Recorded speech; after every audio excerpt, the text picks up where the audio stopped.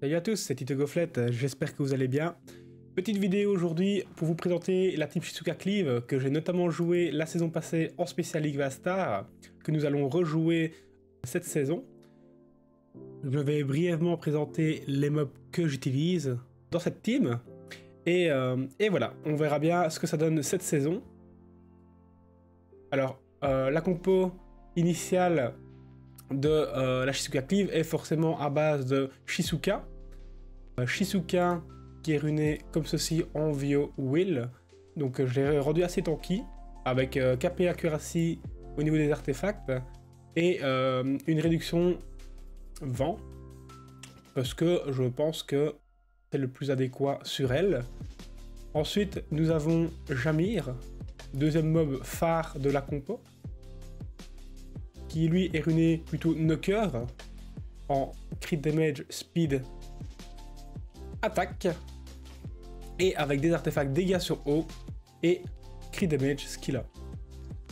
Ensuite, troisième mob très important de la compo Kali, qui est en Swift Blade, en speed, attaque, DCC. Donc j'ai mis à 85 de TC simplement pour être sûr de crit sur les mobs vent et notamment les Triana que vous verrez dans les prochaines vidéos où je vous présenterai un petit peu de gameplay. On va en tomber une fois sur deux sur une Triana qui va potentiellement tanker la Kali. Et du coup, pour essayer d'imiter un maximum le facteur la Triana tank le premier tour, on a mis un dégât 20% sur vent, plus des dégâts qui augmentent le skill 2. Troisième mob très important, quatrième mob que dis-je, très important, le Théon. Théon qui lui va jouer juste après la Kali, en Will, très tanky, avec une pointe d'accuracy. Alors, j'ai décidé de mettre une slot 2 avec du taux crit. Pourquoi pas changer et mettre de la Q pour augmenter les chances de stun qui peut être clutch à voir. Dans un premier temps, j'ai préféré viser un petit peu de dégâts sur le Théon. Pourquoi pas Et au niveau des artefacts, à gauche comme à droite, de la speed en fonction des HP perdus afin de reprendre vite nos tours si Théon est tapé. Tout simplement. Et le cinquième mob, c'est un mob d'adaptation. Voilà, donc on a toute une armada d'adaptation en fonction des compos que l'on va rencontrer. Et euh, parmi elles, les trois plus importants qui seront les plus utilisés seront Luchen, Kaki et également Julie. Alors le Luchen, lui, est runé en Fatal Will. Will pour pas se faire reset, Fatal parce que je n'ai pas les rages. Le plus offensif possible, donc là, on a été chercher un Lichen très offensif. Je peux pas faire mieux, c'est le meilleur runage knocker que j'ai sur mon compte. Et enfin, en artefact, j'ai décidé de tester avec de l'attaque increase effect à droite et des dégâts sur haut à gauche, tout simplement. Voilà.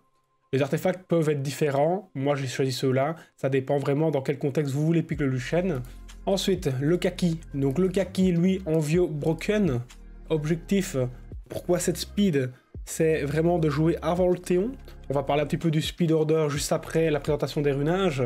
Mais en gros, l'idée, c'est qu'il va s'insérer après la Kali, avant le Théon, dans le but de mettre un break death pour potentiellement rejouer grâce au Théon, tout simplement. Je parle notamment des Triana, qui sont très tanky, et qui euh, n'ont pas spécialement de break parce qu'ils sont en Nemesis, ou là, vous pourrez faire par exemple AS3 avec Kali, AS2, ASA pardon, avec Kaki, redonner le tour avec Théon, soit sur Kaki, soit sur Kali, et enfin kill la Triana. Voilà. Au niveau des artefacts, on est parti sur des dégâts sur vent, et à droite, de la cuirassie et un petit peu de multi bon, qui est dérisoire, hein. ça n'augmentera vraiment pas les dégâts du mob. Euh, j'aime bien les dégâts sur vent. Alors, il y a aussi une autre alternative, c'est mettre de l'attaque increase effect sur le mob, mais moi, étant donné qu'il ne sera pas spécialement tout le temps avec un buff attaque, préférez plutôt jouer avec des dégâts sur éléments. Alors, vous pouvez également mettre de l'attaque increase effect, ça fonctionne tout aussi bien, mais voilà, on n'est pas vraiment dans une cleave avec cette kaki, on est dans une cleave, mais en, en plusieurs temps, voilà, tout simplement. Ensuite, nous avons Julie. Julie, dernier mob runé, plus ou moins knocker. Alors, elle, build assez particulier, c'est-à-dire qu'elle est là pour trap et faire beaucoup de dégâts sur le temps. Je m'explique. Elle est runée très tanky, sans TC, sub DCC, avec du multi attaque. Il y a d'autres multi à côté, c'est du bonus. Multi attaque, priorité. Objectif, ne rien tuer les premières fois qu'elle va faire son skill 3. Scale over time et finalement one shot. Elle va absorber une partie du burst que l'adversaire pourrait occasionner à cette Julie en pensant le one shot, bait, et derrière nous avons une compo ultra résiliente en fonction de ce qui nous a ban ou pas, donc à base de Théon, Kali, Jamir, Shizuka, moins 1 vu qu'elle serait ban si la Julie est sur le terrain, et euh, objectif, quand il y a des buffs moins 20, moins 30%, on peut alors one-shot la team si la team adverse n'est pas déjà morte par les autres mobs qui sont avec Julie. Tout simplement. Et alors nous avons énormément d'autres options runées au cas où. Donc un petit sillon runé en Will et Broken. Euh, moi, je vais me garder celui que j'avais runé en RTA, c'est-à-dire celui qui a Sandrez. Bon, je pense que si on voulait vraiment optimiser le sillon, on le runerait plutôt en fatal full attaque, surtout dans ce contexte. Peut être une option intéressante à sortir. J'ai également runé un Rigel qui lui est en Vio Revenge objectif prendre vraiment des tours sur les compos qui RCC multi-hit.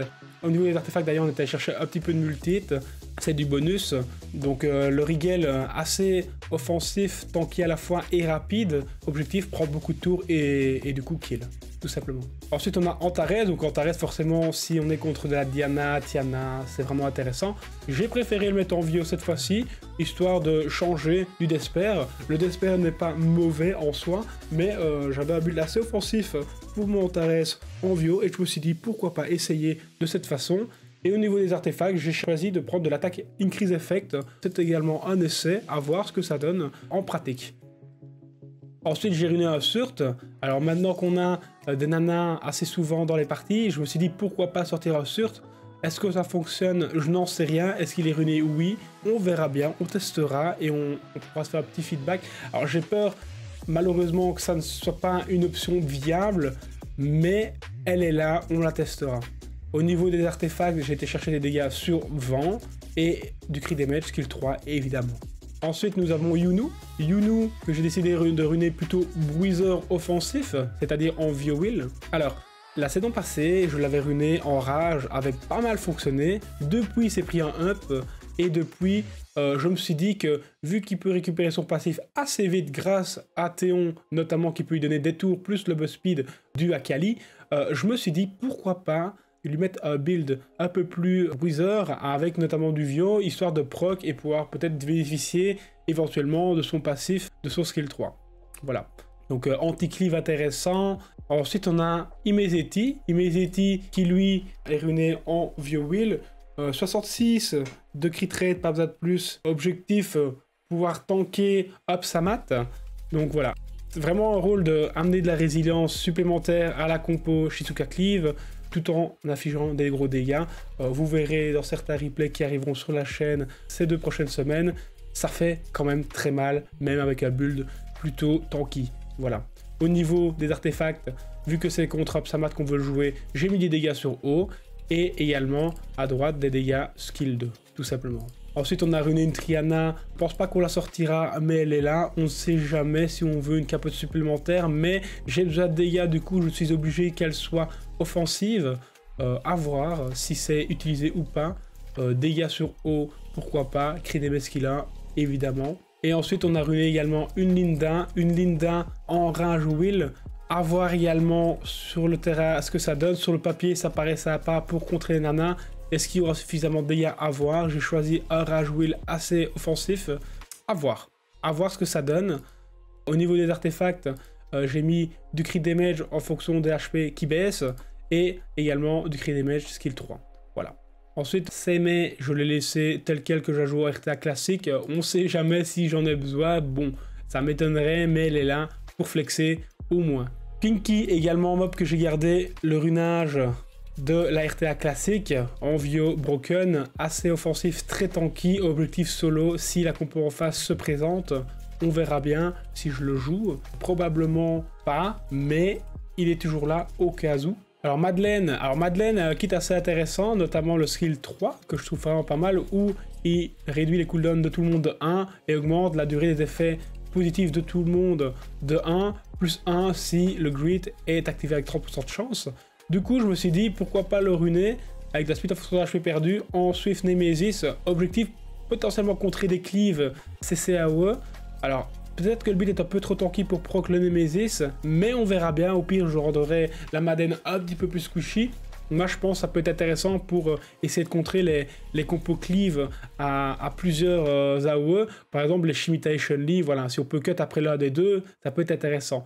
S'il est trop tanky, la Madden est trop tanky, évidemment, on ira chercher un peu plus de, de, stats ailleurs au détriment de la tankiness à voir ce que ça donne sur le terrain. Mio, bon, je pense pas qu'on la sortira, mais elle est présente au cas où si on est vraiment contre une compo qui se présente à base de monoïte euh, avec beaucoup de taux crit, à voir. Elle est runée comme ceci, un petit peu tonky pour pas mourir bêtement d'un petit skill d'un petit Megan ou d'un S2 de Bastet, je ne sais pas moi, voilà. Icares, donc Icares, elle, runée full HP en Vio Will également. J'ai mis du Will sur tous mes mobs. Pourquoi? Pour pas me faire reset, tout simplement. Oliver est présent, je n'ai pas envie de me faire reset mes CD, c'est la pire chose qui puisse se produire. C'est une personne qui prend l'initiative et me reset mes mobs. Donc le Will obligatoire sur tout le monde. Donc l'Icares, elle, bah, très très offensive en termes de tankiness, du coup beaucoup d'HP, pour pouvoir taper assez fort et notamment avec un artefact dégâts sur feu sur les mobs feu. Euh, ça peut sortir à Douglas, ça peut sortir à Verdale assez vite. C'est un mob qui peut être sympa si je vous donne un deuxième Inner avec Kali, tout simplement. Et en parlant d'Inner j'ai également Bethany, que je renais en euh, Will Shield Broken, à tester également, à voir si les dégâts sont suffisants. Au premier abord, je pense que ça doit mettre euh, dans les eaux des 45 000 sans artefact. Donc avec artefact, on peut espérer monter euh, plutôt vers 55 000. pourquoi pas contre les Kiana ou des mobs très tanky Artamiel, on ne sait jamais. Si on en croise, sortir un petit inner ça peut être intéressant. Et enfin, en rat, donc en rat, qui lui, j'ai mis un Swift assez, assez rapide, offensif également, un Swift Blade. Objectif dans rat, il joue avant le Théon pour pouvoir mettre un premier skill 3. Alors s'il est full HP, il va ne pas mettre son skill 3 en cooldown et du coup grâce à Théon on va pouvoir euh, resurge le en rat et remettre un second skill 3. Au niveau des synergies, donc nous avons Kali qui joue en première, qui va évidemment mettre son skill 3 dans 99% des cas. 99% pardon. Ensuite, nous aurons Théon qui jouera en second, qui pourra éventuellement resurge l'ATB de la Kali pour pouvoir kill notamment une Triana T1. Et ensuite, nous aurons euh, Shizuka qui fera dans 99% des cas également un skill 3. Et Jamir qui va refresh tous les CD à la fin. Euh, voilà, donc c'est vraiment la, la compo de base. Et enfin, le, le cinquième pic qu'on prendra, ça sera dans les compos en fonction de, ce qu'on veut, quelle, heure on veut que le mob se joue. Donc par exemple, si on veut un mob qui joue euh, très très vite dans notre compo avant le joueur en face, s'il est plutôt lent, on pourrait éventuellement sortir une Kaki. Un Kaki, s'il y a une Diana, une Triana, ce genre de mob, où on pourra resurge assez vite l'ATB également avec Théon et faire beaucoup de dégâts euh, le T1. Et ensuite, on a euh, bah, tout notre armada de mobs euh, plutôt lent, avec beaucoup de stats, qui pourraient euh, soit jouer à leur tour s'il y a une inversibilité qui est posée grâce à Shizuka, ou bien Théon qui resurge leur ATB dès le T1 pour afficher des gros dégâts et potentiellement cleave. Verrons tout ça dans les prochaines vidéos. Donc voilà, c'était vraiment la présentation briève des runages et euh, du fonctionnement de la Shizuka Cleave. Je vous donne rendez-vous sur les prochaines vidéos pour du gameplay pendant les deux prochaines semaines. Voilà, c'était au fait les gars, j'espère que la vidéo vous a plu. N'hésitez pas à appuyer sur le petit pouce bleu si la vidéo vous a plu et également à vous abonner pour être au courant des prochaines vidéos. Ciao ciao